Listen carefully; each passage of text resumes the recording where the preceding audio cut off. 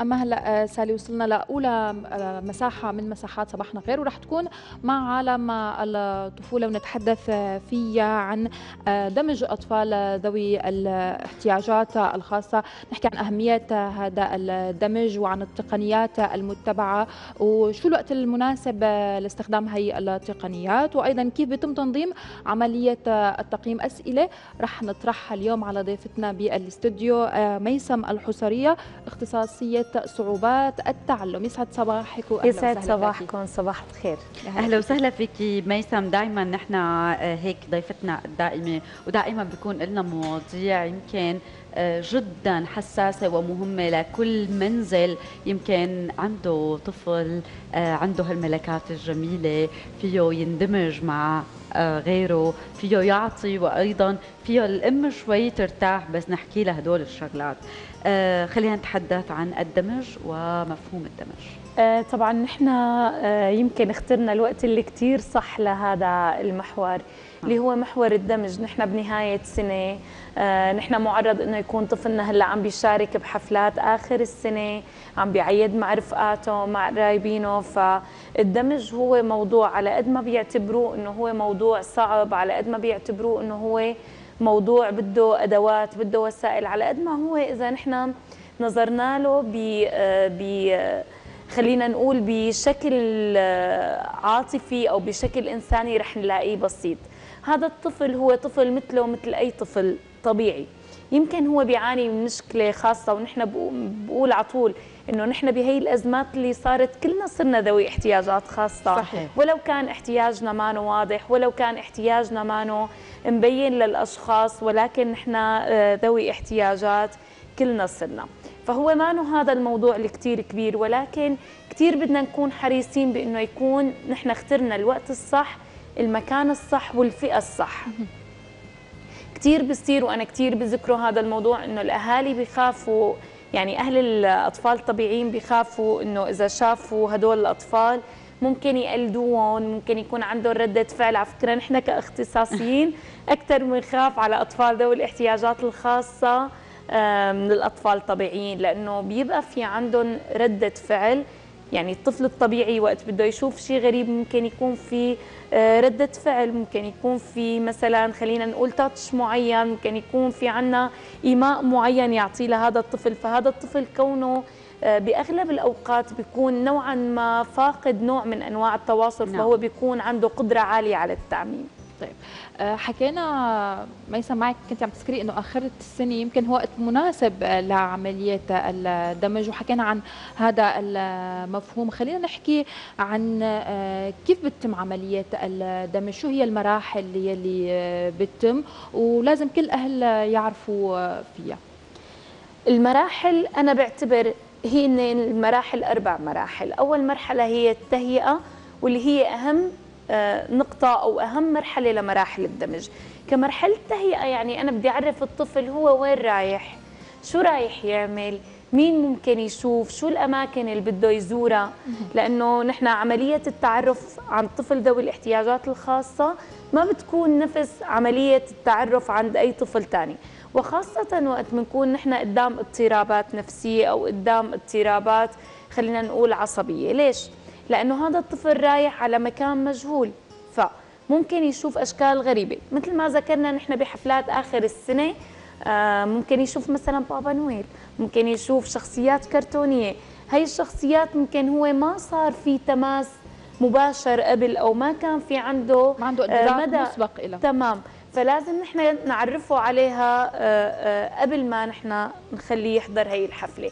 حتى ما يصير في عنده ردة فعل أو حتى ما يخاف. حتى ما يهرب لأنه خوفه رح يخلي الأطفال الطبيعيين يستغربوا إنه هي الشخصية محببة أنت ليش خفت منها؟ فرح يكون في هون عنا إيماء معين رح يعطيه الطفل الطبيعي لطفل ذوي الاحتياجات الخاصة.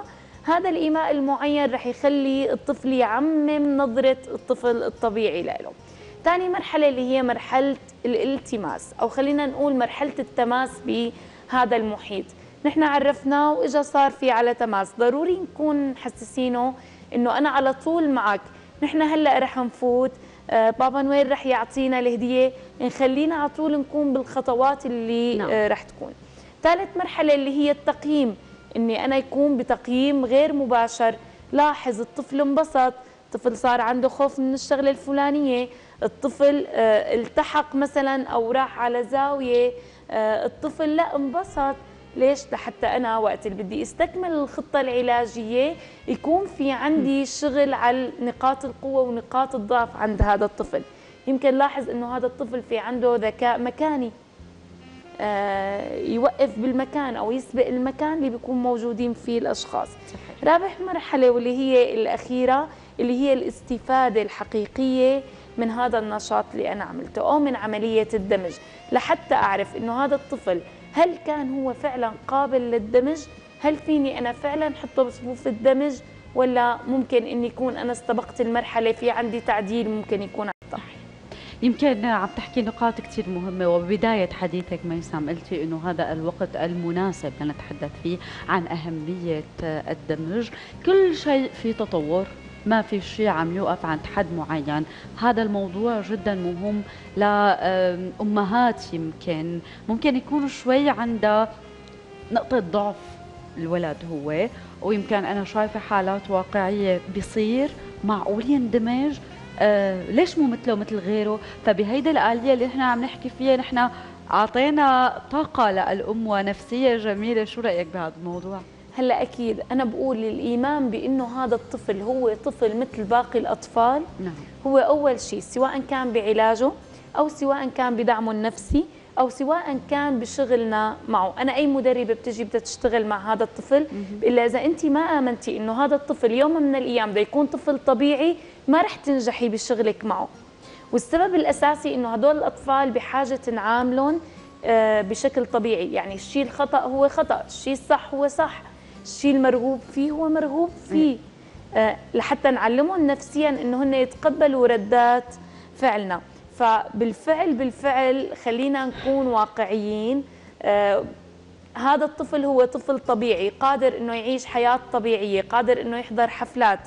أنا كثير ضد إنه آه على طول يكون عندي أنا ما بدي طالعه مشان ما يقول الناس إنه ابني عنده مشكلة. أنا صح. ما بدي خليه يحضر الحفلة حتى ما يخجل آه قدام رفقاته. أو أبداً. هي تخجل فيه. تماما. ابدا. على فكرة هدول الأطفال هن اللي عاطينا حياة حقيقية. آه وعلى طول على طول على طول بذكر لولا أينشتاين اليوم نحن مو قاعدين بهذا الضوء الحلو. لولا بيتهوفن نحن ما بنسمع موسيقى حلوة. لولا ميسي ما بنفرح بلحظات خلينا نقول النجاح أو الفرح. فهدول الأطفال هن قدموا لنا كثير هي الفئة قدمت لنا شيء كثير حلو.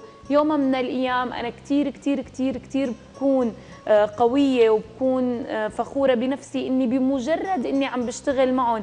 كيف إذا كان عن جد عندي طفل مثلهم معناتها أنا أم قوية معناتها أنا أم قادرة إني أشتغل معناتها أنا أكثر حدا قادر إنه أنا يسمع وينفذ الشيء اللي أنا بدي إبني يوصل له دمج هذا الطفل هو قوة لإلك أبدا ما ضعف. على طول أنا بحب ضوي على هذا الموضوع. نعم.